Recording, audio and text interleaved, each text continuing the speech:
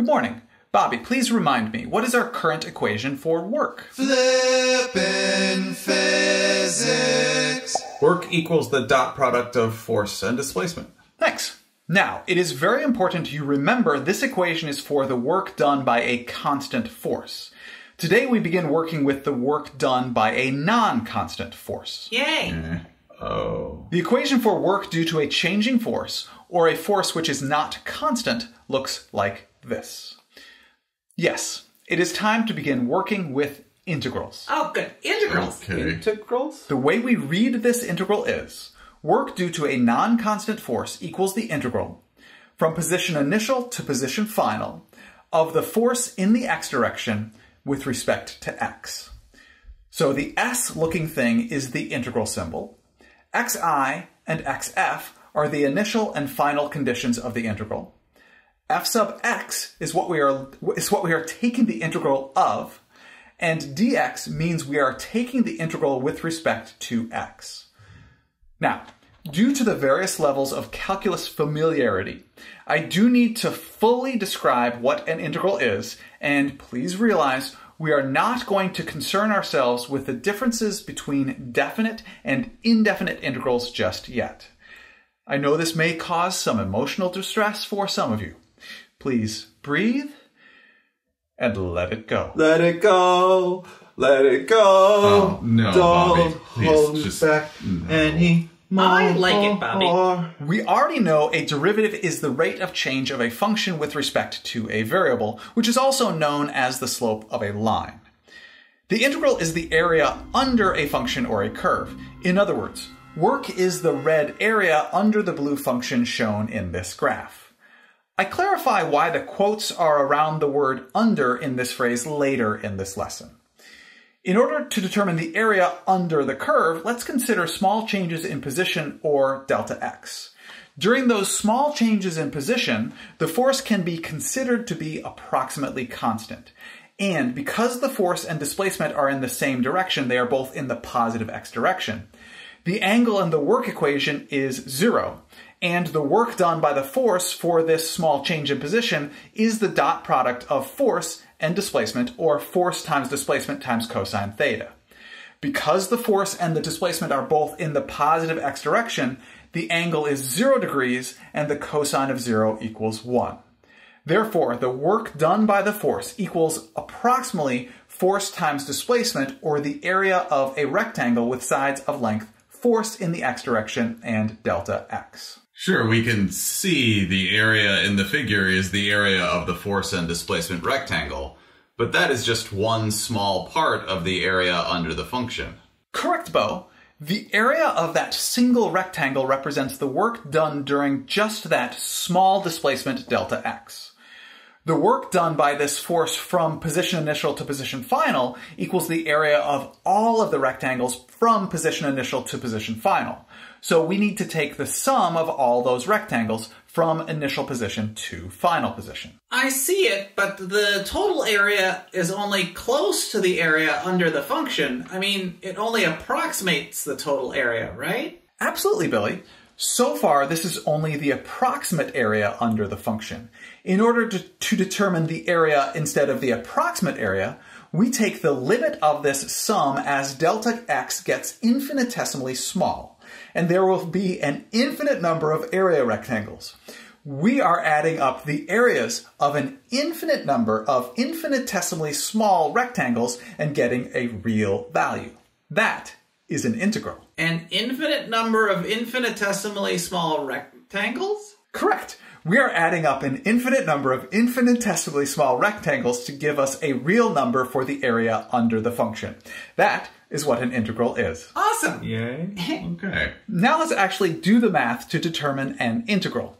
In order to do that, please understand that an integral is also called an antiderivative because it is the reverse of a derivative. So let's start with a simple derivative. Bobby, if y equals x squared, what does the derivative of a y with respect to x equal? The derivative of x squared with respect to x equals 2x. Yes. Now, because the integral is the antiderivative, we know that the integral of 2x with respect to x equals x squared. However, I want to add one step in the middle there. The integral of 2x with respect to x equals 2x squared all divided by 2, which equals x squared. The reason for that is that we are following the integral rule identified on the AP Physics C equation sheet.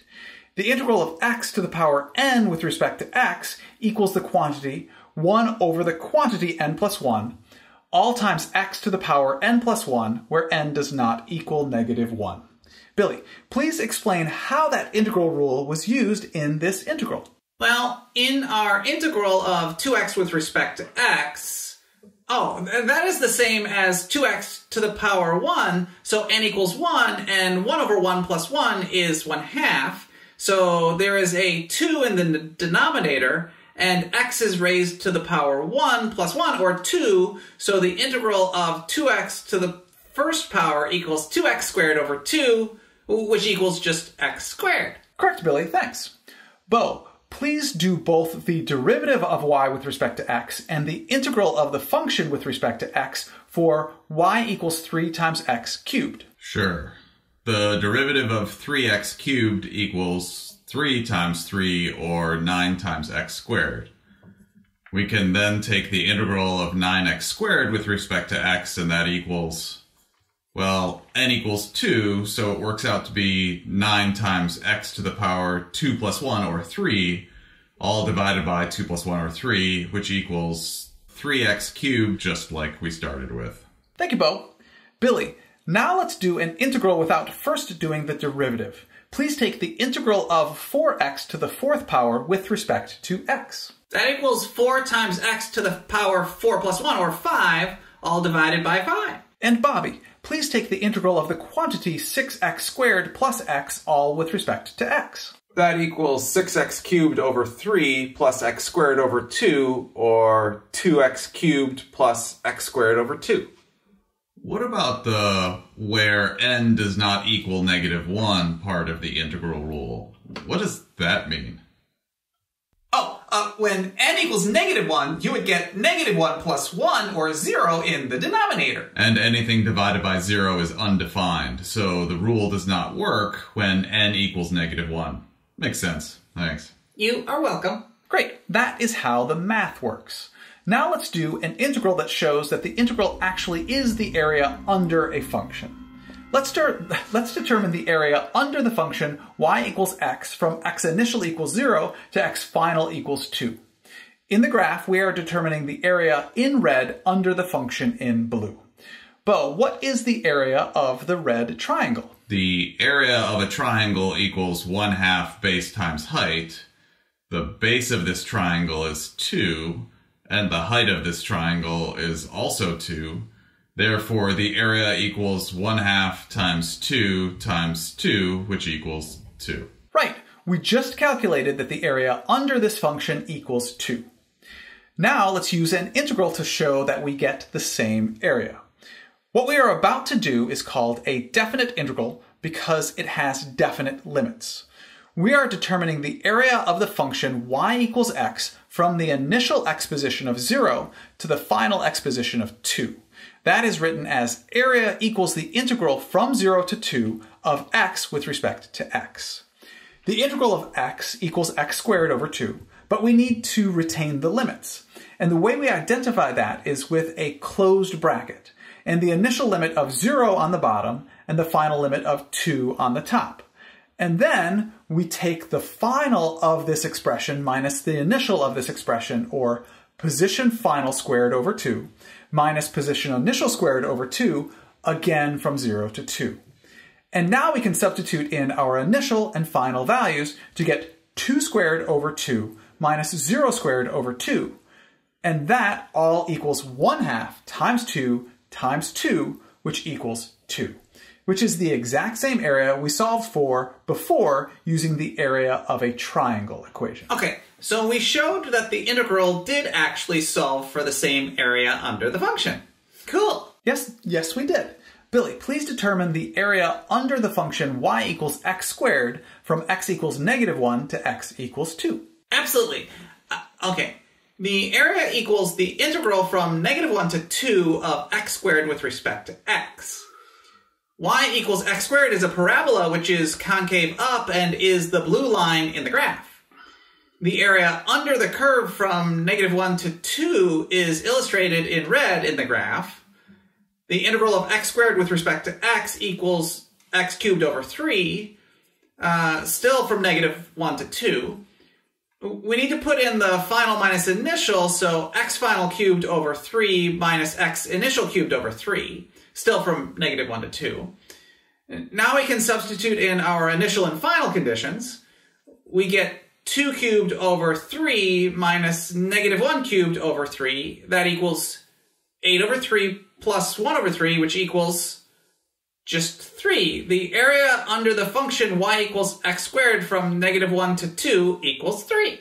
Thank you, Billy. Let's do one more generic integral example. Determine the area under the function y equals x squared minus 2x from x equals 0 to x equals 2. The graph looks like this function in blue, and the area we are solving for is in red. Bo, please. Sure, well, the area under the function equals the integral from 0 to 2 of the function x squared minus 2x, all with respect to x. The integral equals x cubed over 3 minus 2x squared over 2 from 0 to 2. Simplified, that equals x cubed over 3 minus x squared, all from 0 to 2. We can substitute in the variables position final and position initial, and then we can substitute 2 in for position final and 0 in for position initial. That equals 8 over 3 minus 4 or negative 4 thirds. How can an area be negative? Right. So this brings us back to the quotes around under in the statement that the integral represents the area under the function.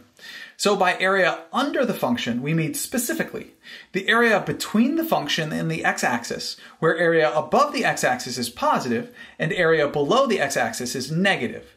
The reason the area below the x-axis is negative is because the y values, or heights, of the infinitesimally small rectangles which make up the area have negative values. Area below the x-axis is negative because the y value creating the area is negative.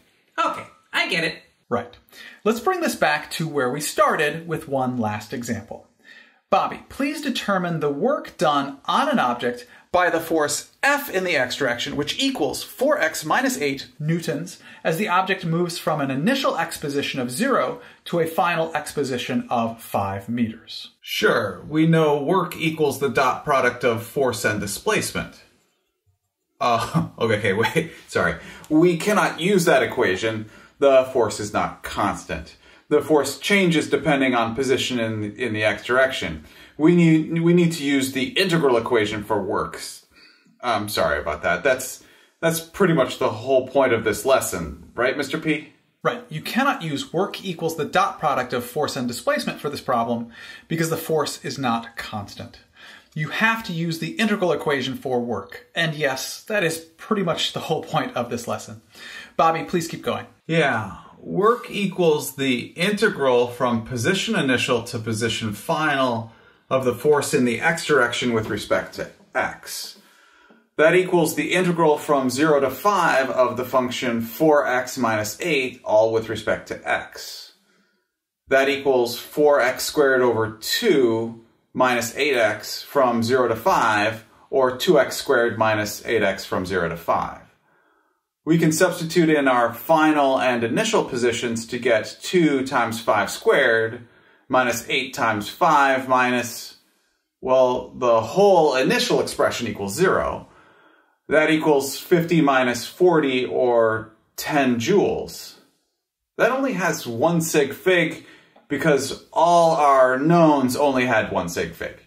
And let's actually look at the graph for a minute. Force equals 4x minus 8 is in the slope-intercept form of a straight line. So the y-intercept equals negative 8 and the slope equals positive 4. So the line starts at negative 8 on the y-axis and goes up 4 units for every 1 unit it goes to the right. the y-axis is the force in the x direction in newtons, the x-axis is the x position in meters, and the work done by the force equals the red area between the blue function line and the x-axis. That means from 0 to 2 meters, the force does negative work on the object.